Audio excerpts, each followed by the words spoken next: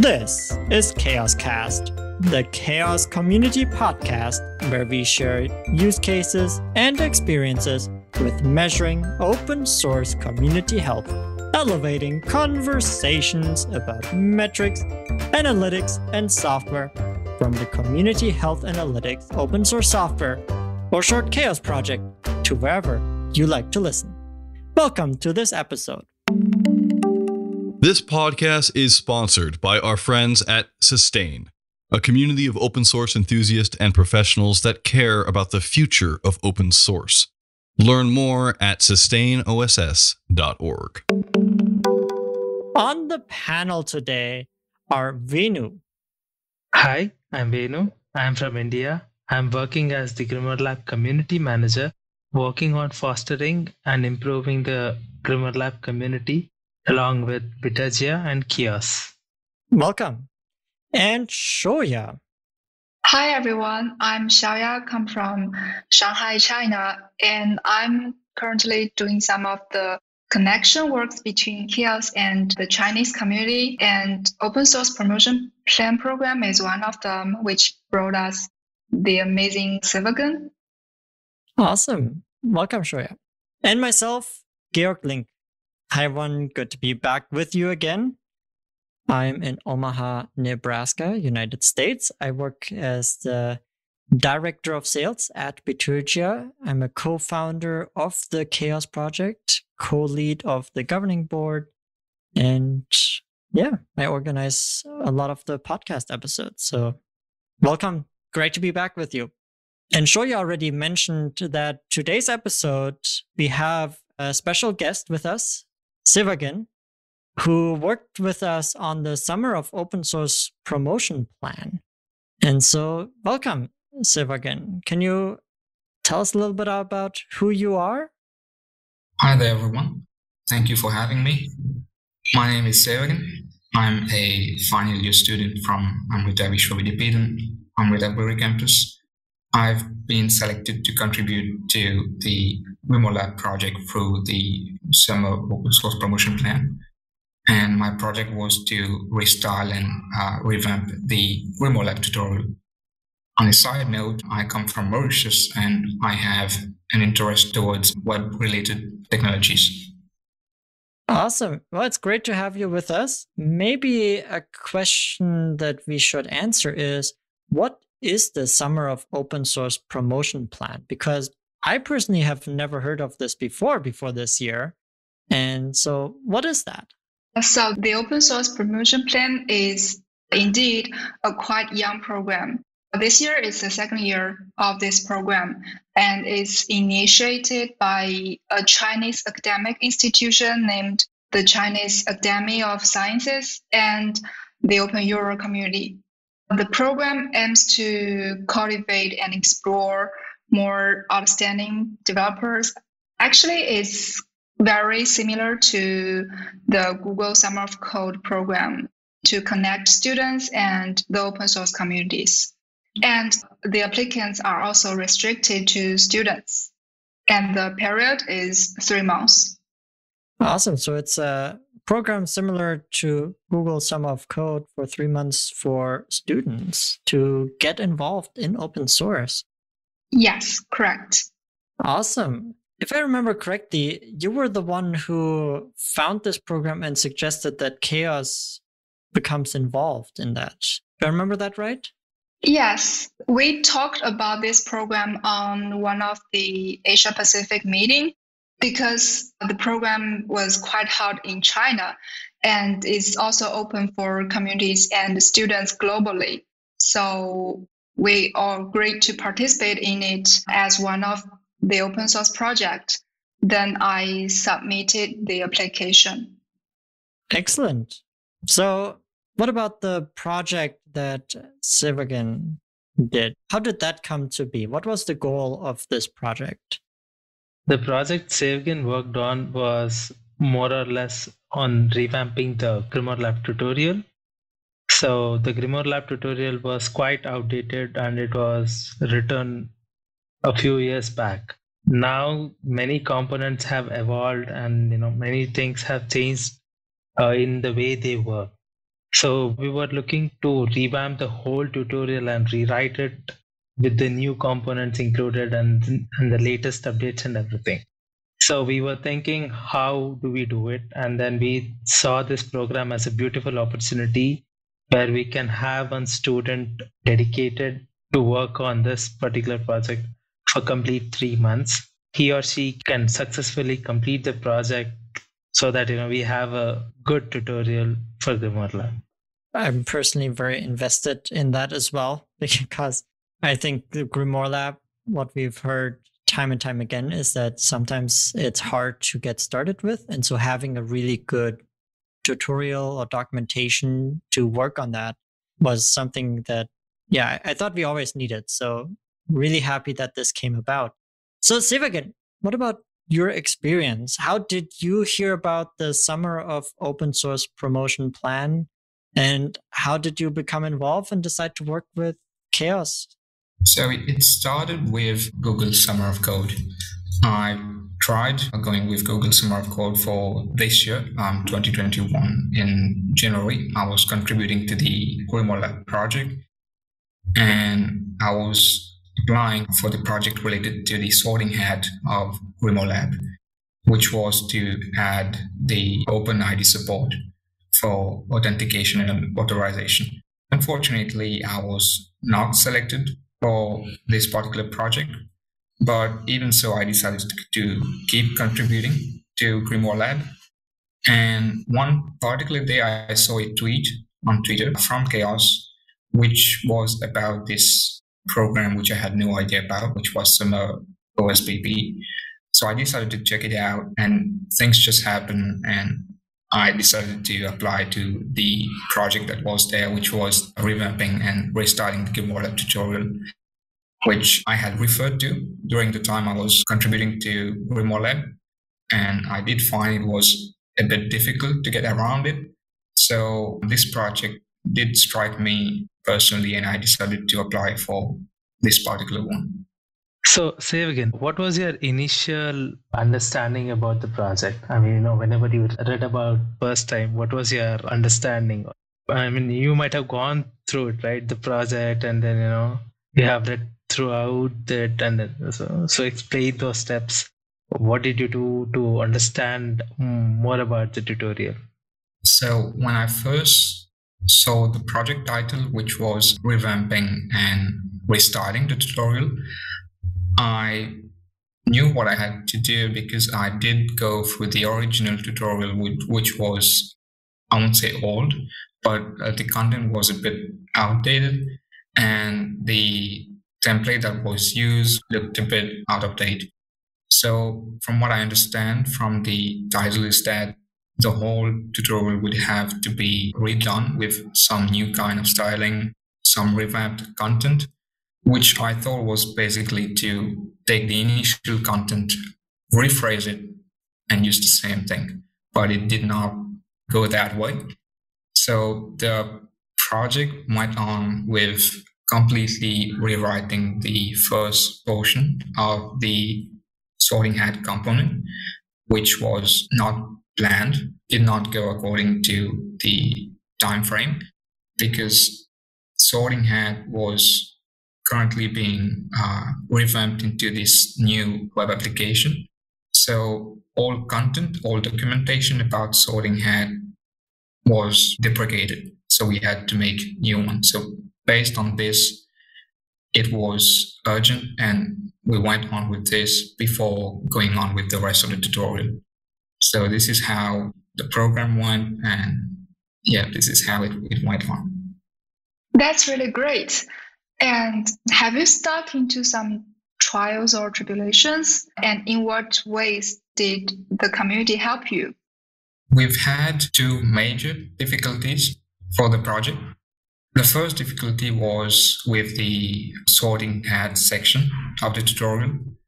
So SortingHat had a pretty big code base. So documenting each part of it would be pretty difficult. Plus, we decided to go with a user oriented tutorial, which would not align with what we decided beforehand.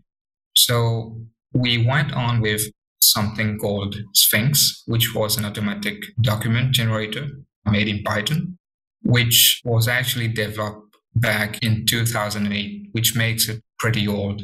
And the steps to use it were a bit long, did not really make much sense to me. So I had to take a week to try them out and see exactly what each one of them did and was it aligning with what we, we wanted for the tutorial. So it took me some time to get used to the commands that I needed to execute to get the actual documentation for SortingHat. But after approximately one and a half week, I got it working. So right now the developer oriented documentation is available for SortingHat and we have the user oriented documentation as well for it. The second problem which we faced was to test out the tutorial. So after gathering all this content, we needed some way to test it out because we did not, even though the content is there, we can't be sure how effective it's going to be without testing it. So during one of our weekly meetings, we, Venu and Georg put out an idea, which is to contact community members, people from the community and people who knew about GrimoireLab and people who do not know anything about GrimoireLab to test out how the tutorial worked out for um, any one of them. So I had to personally contact those people, schedule a meeting, make sure that they would be free for that time frame, then ask the right questions so that I, I can get the right feedback for the tutorial and finally implement those suggestions from the volunteers. So this is the first time I did this kind of work. I'm usually more into writing out the tutorial. So it was, I won't say difficult, but it was unique in the way that I had to to interact with the community. I do want to say that I'm very happy with how that turned out because the way the tutorial that you wrote the tutorial was for users to use GrimoireLab. And so going out to actually ask, hey, can you go and figure out how to use GrimoireLab using the tutorial as guidepost? I think that was really a great step to do. And Xiaoya, I think you even participated in that. Can you maybe share what that experience was like as someone who participated in this the process was to reviewing the tutorial and I suppose the idea was to see if anyone who has little knowledge of the project GrimoireLab, especially how to use the dashboard, could get on well with it easily.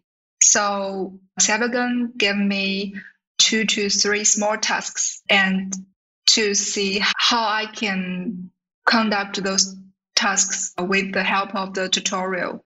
And it's very interesting experience because I've conducted similar tests before. That was the task of my user interactive interface design course. But it's a completely new perspective coming to the role of the user. And the tutorial was really excellent work, I'd say. Getting the review of the actual users is actually a pretty great idea because after these regular reviews, we had a lot of improvements in the documentation, which are like, you know, very basic, like, you know, missing links or else, you know, adding a contributing doc, etc. So that was actually a great idea. And I also remember the time when I was participating in Google Season of Doc program when I was writing the documentation of KILL's the iBadging project. And the feedback from some users can really help a lot.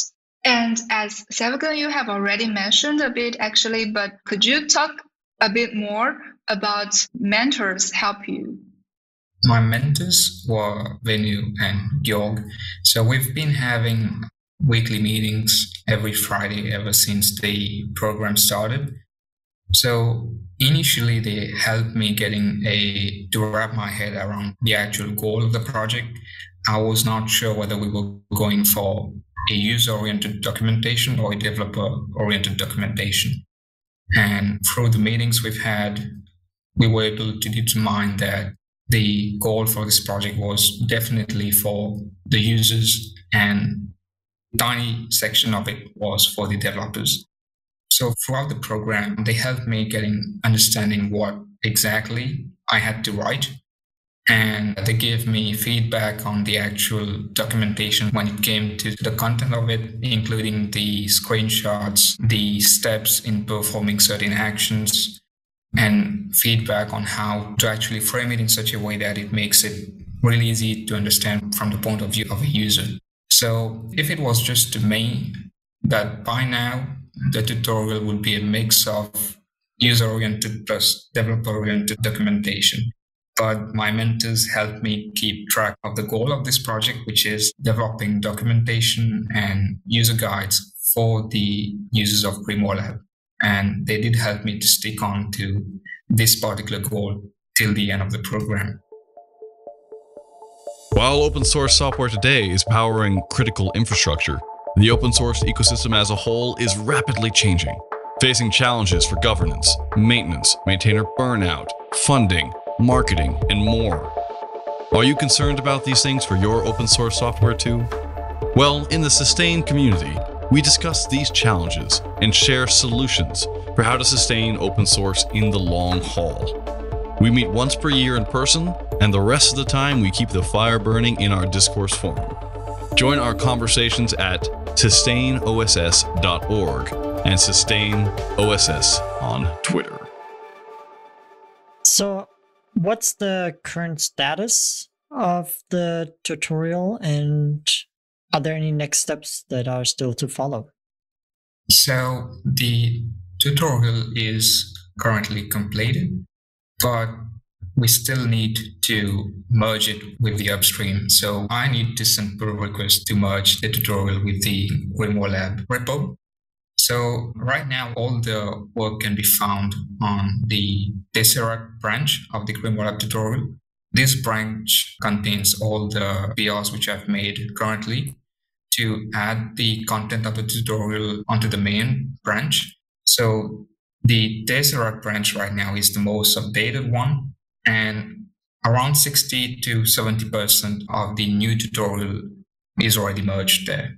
So the rest 30% that will be added in the next few weeks sections such as the understanding community health section that needs to be merged. The dashboard navigation section, part of it is merged, but part of it needs to be reworked on. Then we have the SortingHat user guides, which I need to make the PR for it. Those sections are completed. So that is the status of the project right now. And the next step would be once we have everything merged, I think we can actually deploy the actual tutorial onto the read the docs URL, which the old tutorial is using, I think.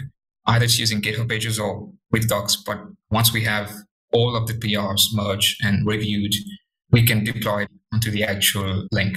And once that's done, I think I'll be sticking around. I'll be looking into any kind of tiny stuff we might have missed. I know there are some stuff we might have missed in there. So I might need to look into those and fix those. And I'll stay around the project. Well, I already want to say thank you for all of the work you have done on the tutorial for GrimoireLab. And really thank you also for sticking around after the program. I know it already ended and you're still super engaged in bringing this to completion and fruition. It's really amazing. So, outside of the work that you're doing here with the program and with CHAOSS, what are your future plans? Where are you going next? Are you graduating, looking for work? What's your future plans? Like, what do you want to do? I'll be graduating next year in July. And right after I graduate, I plan to start working. I'm not planning to go for the master's at the moment. So I plan to gain some experience through work first and then maybe in the next few years try for, for a master's. I've already done a few part-time jobs related to web related technologies. I was interning at a company a few months ago, which is a startup.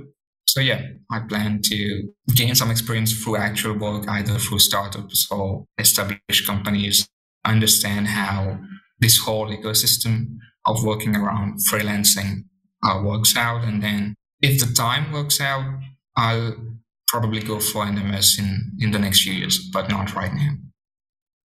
That's great to hear, Sevagen. So, do you think this project helped you in any way for your next job opportunities or you know your master's program during this program i've learned a lot of skills which i did not look into before so previously i was very much involved into improving my technical skills mostly related to coding i did not really look into how to write any kind of documentation for any kind of project how to interact with people to get feedback on any kind of project. I did not pay attention to those skills because I did not feel like I was going to use them afterwards. But after this program, I feel like I've learned a lot, and I definitely feel that those skills are going to be useful for me in whatever field or whatever work I'm going to do. And in a sense, I've discovered a new side to what the life of a computer science graduate might be. It's not strictly about coding, it's not strictly about knowing some kind of library or framework, but it's mostly about interacting with people, making sure that people can actually use your product through a good tutorial, a good user guide for that particular project. So it's it's one side which I do not regret learning and participating in because of this project. Yes, sir. That's really nice. I had mentorship experience last year and it really helped in my first job and it was a great. This is really great. Thank you for sharing all of your experience and your insights from having been part of this program over the last three months. I have a feeling that we can expect some great things from you in the future. So if people want to stay up to date on what you're up to and follow your work, where can they find you online or connect with you? So available on Twitter, you can find me through the handle Sevgen and I'm also there on LinkedIn. It's my full name, Virasamy Sevagen, or you can connect to me through email, which is sevgenv at gmail.com. All right, we put those in the show notes. And we always like to wrap up our episodes with a round of value adds where we share something that has brought value, joy, or meaning to our life. And I'm going to start us off. Last time I talked about rereading Eragon, I finished that and I finally know how the series ends. And now I am reading Enid Blyton. That's the author, uh, Famous Five the famous five it's stories of young teenagers four of them and a dog who makes up the fifth in their group who have adventures and the stories are from like 1945 so at the end of the second world war and they play in england and it's just really nice stories about friendship and about exploring and having adventures together. And as a kid, I loved the stories and I really enjoy going back and rereading them right now. Oh, my pick is also a bit child oriented. Is the Disney animation Tangled, and I just finished it recently.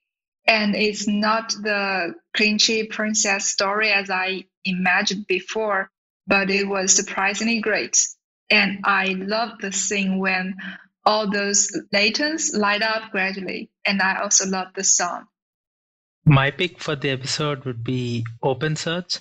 It is a community driven open source search and analytics suite derived from Apache 2.0 licensed Elasticsearch and Kibana software. We are making plans to integrate this with GrimoireLab in the nearby future. So, my pick is something which I think is one of the most important decision I've made during my initial college years. So it is about the amFOSS Club which is a student community based on campus, my college. And it's basically a club where a group of students from the college itself, we go and join at the end of the day after classes and we look into open source projects, any kind of field which we might be interested into. We try out hackathons together. We do a lot of fun stuff together, not just technical. So I hold this club. I think this club is very important to me because I would not be into open source would it not be for this student club and especially because of the mentor that we've had at the club, which is Vipin Sir. So without him, I would not be doing any kind of open source work. I would not even be applying to any kind of open source related work and not to this program, obviously, if it was not for amFOSS. So, so yeah, this is my pick for this session. That's quite powerful. It's sometimes amazing how we pick up a hobby or something alongside of our main studies or work and then it turns into something even greater because we discover a whole new world and we get so enticed in it so excited about it. That's really awesome. It is time to say thank you. So thank you Sevagen for joining us today and sharing all of your experience and thoughts on this mentor program that you participate in. Thank you everyone. It was really great. This is actually my first podcast, but it went well. So thank you very much for having me. And I hope to see everyone again soon. Yeah, our pleasure. And thank you, Venu and Xiaoya, for joining us as panelists on this episode. And Venu, of course, also thank you for being a mentor. Thanks, uh, thanks, Georg. Thanks again. Thanks, everyone. Thank you, everyone. It's an interesting time talking with you guys. And thank you, dear listener, for joining us today. To stay up to date on future episodes, subscribe for free to this podcast on your favorite podcast app. Share this podcast with your friends and colleagues. If you have ideas for future episode topics or would even like to come on as a guest, please email us podcast at chaoss.community. We hope you enjoyed this episode. Until next time, your CHAOSS community.